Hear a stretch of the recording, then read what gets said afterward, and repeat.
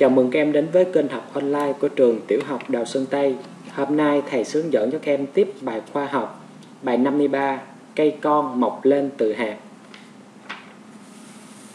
Tiết trước em đã biết hoa là cơ quan sinh sản của thực vật có hoa, từ hoa sẽ có hạt, vậy cây con được mọc lên từ thân, hạt, rễ hay các bộ phận khác của cây mẹ. Bài học hôm nay sẽ giúp chúng ta hiểu thêm điều đó thông qua hoạt động thứ nhất. Cây con mọc lên từ hạt như thế nào? Trên màn hình là hạt đậu được thầy tách đôi, tách dọc ra để cho các em dễ quan sát bên trong và hãy quan sát hạt đậu tách đôi này và cho thầy biết là cấu tạo của hạt đậu bao gồm những phần nào.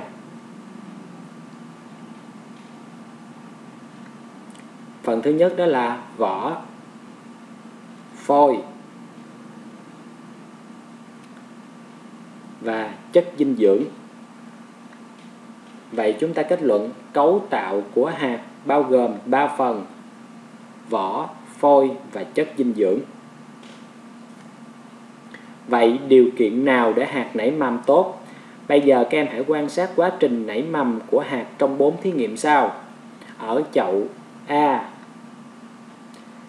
hạt được gieo ở đất khô, kết quả sẽ hạt sẽ không nảy mầm. Ở chậu B, hạt gieo ở đất ẩm nhiệt độ bình thường. Lúc này hạt nảy mầm. Hạt gieo ở chậu C, hạt đem gieo dưới à, bóng đèn ánh sáng. Bóng đèn sáng thì hạt không nảy mầm. Hạt đem gieo ở chậu D, hạt gieo trong môi trường nước lạnh. Lúc này hạt không nảy mầm. Vậy vì sao hạt không nảy mầm ở chậu A, chậu C và chậu D? Ở chậu A thì đất khô, chậu C quá nóng và chậu D quá lạnh. Vậy chúng ta kết luận điều kiện để hạt nảy mầm tốt là độ ẩm, nhiệt độ thích hợp và một cái nữa đó là chúng ta chọn giống phải tốt. Dưới đây có các ảnh số 2, số 3, số 4, số 5 và số 6 Tương ứng với đó là một số thông tin ở mục A, B, C, D và E. Ở các khung thông tin này, bây giờ nhiệm vụ của mình là dựa vào các hình và khung thông tin ở dưới chúng ta sẽ nối tìm những thông tin phù hợp và nối lại với những cái hình chúng ta quan sát được tương xứng với cái nội dung. Bây giờ chúng ta hãy quan sát thật kỹ và đọc nội dung thật kỹ ở bên dưới để chúng ta có đáp án chính xác. Nhớ các bạn cũng hãy dừng video này lại khi nào có đáp án xong rồi, các bạn hãy bấm video tiếp theo để xem đáp án của thầy có trùng khớp với mình hay không nha.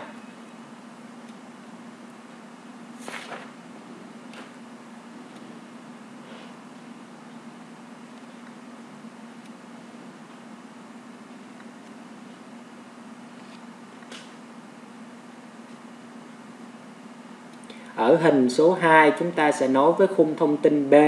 Hạt phình lên vì hút nước, vỏ hạt nứt để rễ mầm nhú ra cắm xuống đất. Hình số 3 chúng ta sẽ nối với khung thông tin A. Xung quanh rễ mầm mọc ra nhiều rễ con.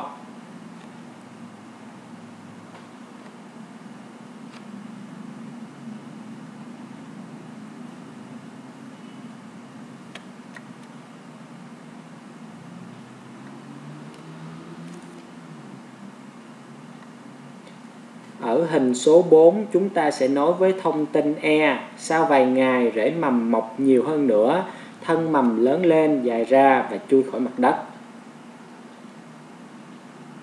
Hình số 5 chúng ta sẽ nối với thông tin ở cột khung C, đó là hai lá mầm xòe ra, chồi mầm lớn dần và sinh ra các lá mới.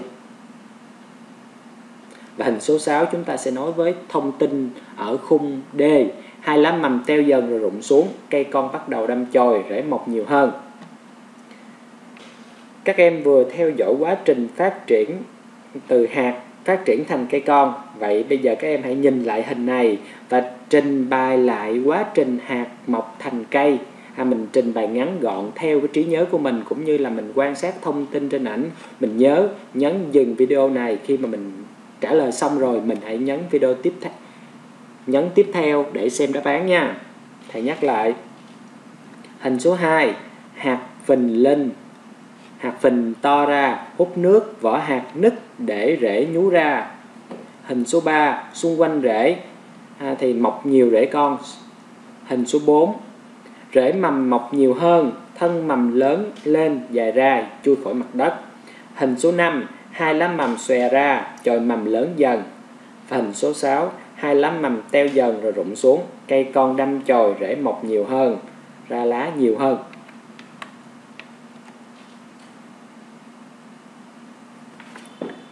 bây giờ các em hãy quan sát sự phát triển của hạt mướp từ khi gieo xuống đất cho đến khi mọc thành cây, ra hoa và kết quả. Các em hãy quan sát những cái hình bên dưới. Vậy khi gieo hạt mướp xuống đất sẽ như thế nào? Bây giờ chúng ta hãy sử dụng cái ngôn từ của mình, sử dụng cái kiến thức của mình, mình nhớ lại và mình trình bày xem. Mình cũng tương tự. Mình dừng video này lại khi nào mình có đáp án cho mình rồi mình trả lời xong rồi các bạn hãy à, bấm video tiếp theo để nghe hướng dẫn của thầy nha. Ở hình A đầu tiên chúng ta gieo hạt mướp xuống đất ở hình B sau vài ngày thì rễ mầm mọc thân mầm chui ra khỏi mặt đất với hai lá mầm. Ở hình C cây đâm chồi mọc thêm nhiều lá mới. Ở hình D cây mướp ra hoa kết quả. Ở hình E cây mướp phát triển nhanh và đến tuổi thu hoạch. Ở hình G quả mướp già à, và lúc này thì ăn không không còn ăn được nữa rồi. Bên trong có rất nhiều sơ và hạt ở hình H hạt mướp già à, có màu à, màu đen ha màu đen hoặc là màu à, cánh rán.